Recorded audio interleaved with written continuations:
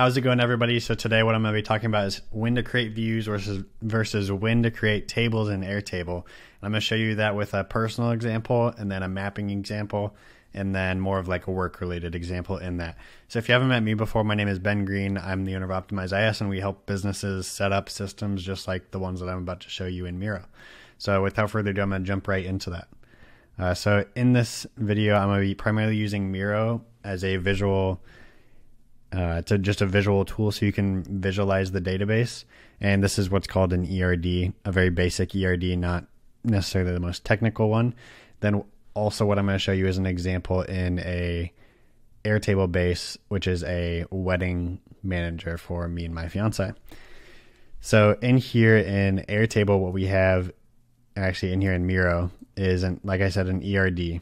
And what essentially all of this is right here this is a ERD for my business, and this is a system that I'm creating live on the YouTube channel. I'll give you a hint as far as like how you can watch the whole build at the end of this video. But right here, these are all different tables in Airtable. So each of these CRM activities, contacts, company invoices, Toggl, work tickets, these are all different tables inside of what will be the new Airtable base for my business. And each of these, like contact companies, they all have different relationships between them. And they're all, I think they would probably be called data objects, but they're different class classifications of data. Like a company is different than a contact. A contact is different than a CRM activity, but they're related. So there's three different types of relationships, real quick. They're one to one, one to many, and many to many. One company might have many contacts. One contact might have one CRM activity. One CRM activity might have many contacts uh, one company might hopefully has many invoices. One company hopefully has multiple time, many time entries being tracked on it. So those are a few of the different relationships, and that's how I think in terms of all of these different tables right here. So if you're interested in a little bit more of this, now I'm going to get into views versus tables. So where I really differentiate views is where or I, I guess where people differentiate views wrong is when you get into the different types of the data in the tables. So a lot of times what I'll see people do is they'll create different tables for different types of companies. So maybe you have vendors and actual companies and there are certain databases where I do split up vendor companies and regular regular client prospect companies. But that's a distinction that you have to make. Another time when I see this is like CRM activities. So in tools like close.com or other CRMs, you can have a ton of, it's just a CRM activity. You can add custom fields to each one. So in Airtable, when you have a CRM activities table, how do you know when to create a new table versus when to create a new view? And that's exactly what I'm going to be going into this uh, in this video. So there are a few things that you need to figure out when you're doing all of this, and it's primarily just based around how you currently work, uh, as well as what's going to be the most effective way of you working, and are you willing to make those changes. So, for example, in invoices and payments, there is one way where you could split those up into two separate things. Although for me, an in, a payment is always made on an invoice. There's never a payment without an invoice. So for me, I put those in the same table for me, all my companies, there, so I've seen people put their have their prospects in one system and their clients in another system. With the way that this is going to be set up right here, those would be in in both. And you're like, okay, well, how do you tell the the difference? So one of the things that I would have on a company's table, and this is where I'd get into views. So this was this originally came up from a question a client asked me, how do I know when to create views? How do I know when to create tables? So when I go to create views, is I have a pros I have like clearly defined kind of like work streams within my business. So at certain times I'm prospecting, and then at certain times I am just helping out customers, or at certain times I'm billing customers. So in my system that I'm creating, I need a place to do my prospecting tasks, know who I need to prospect with, know when the last time I talked with them. I also need to know that for active clients. So when was the last time an email exchange was exchanged? When was the last time a Slack message was exchanged? When was the last time that I had a call with them?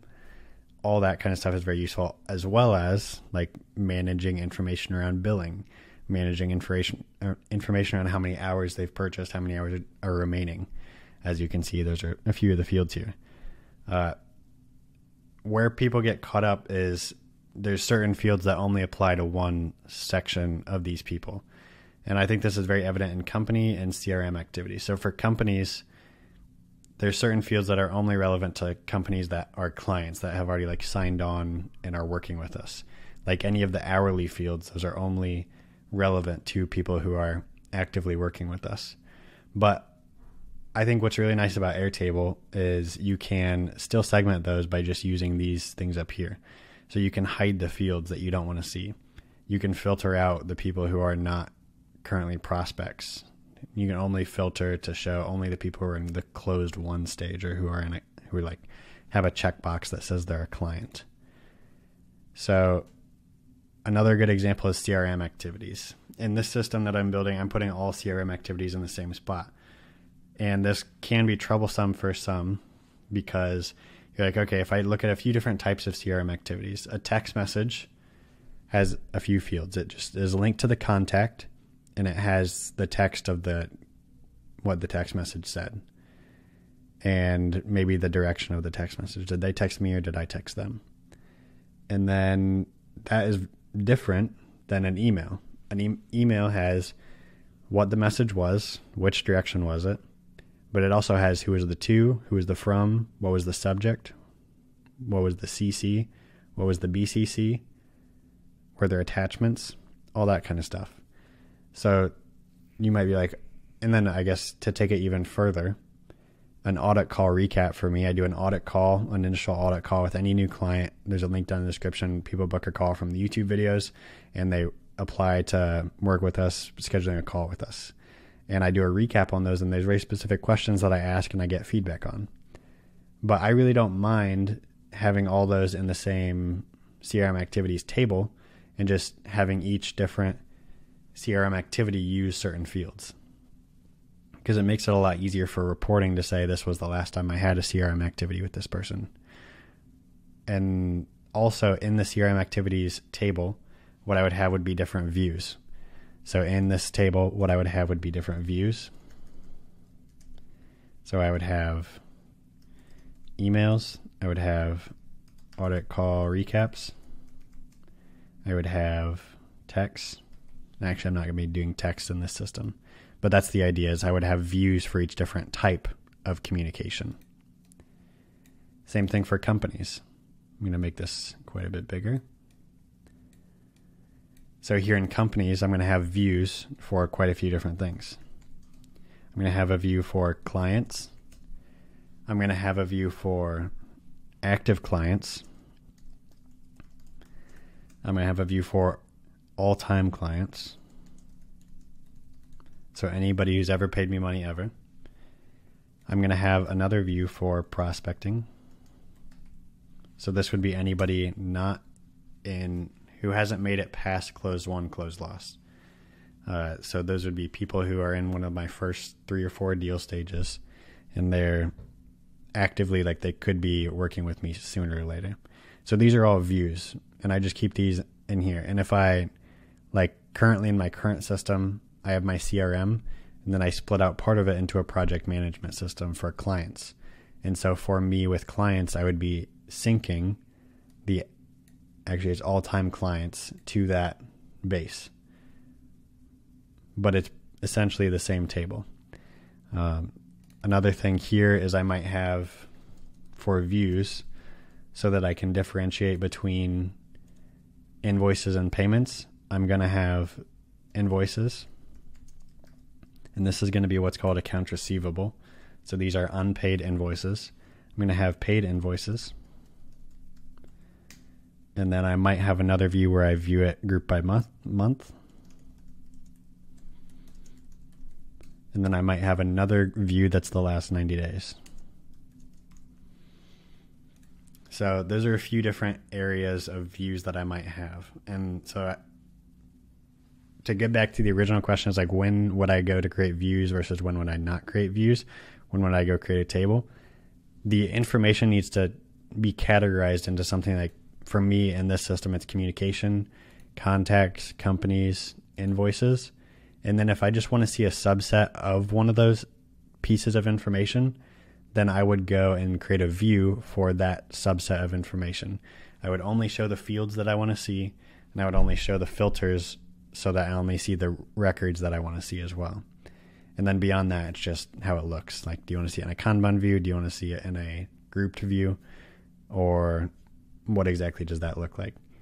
So another good example of this is in the system that's behind this, which is in a wedding tracker. And again, I am going to get to the system where you can see how I'm going about creating this system in Airtable and Softr, all that at the end of the video. But here in this wedding tracker, we have different these this started out as vendors, although it's not necessarily following the strictest guidelines as far as how would I call this data structured data. So this used to be vendors, and so we used to have just have vendors in each one of these. We have caterers, as you just saw there.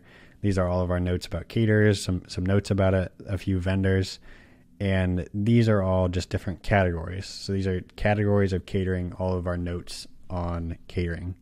Another view that we created was just for photographers or just for videographers. So these are a few of the different views that we created rather than in Excel what we had was we had a view for photographers, a view for videographers, a view for caterers, a view for cake, transportation, all of these. But here, instead of having having to scroll through 30 different tables, we can just have this little section over here, navigate to what we want to, or see all of them together. And I think that's one of the best parts about having these all in the same table is you can see all of them together. So I hope you gain value out of this video. If you are curious about building that system that I was showing you and seeing how I map that out, how I think about mapping out systems and mapping out the different tables, and then over on what you didn't see was all the automations that will make the CRM and make the CMS work. Uh, you can check out this video right here in the end screen. It's going to pop up probably like right over here. And you can go click on that video and you can go learn about mapping out all of these fields in Airtable. It's going to be a CRM and a customer management system in Airtable for a service based business for my business. So if you're curious about learning about how to build a system like that, go check out this video right here and you can get the deep dive on all, all things mapping in Airtable. You can learn all about relational databases. So hope to see you there. Go click on that video right there and I'll see you in the next one. Bye bye.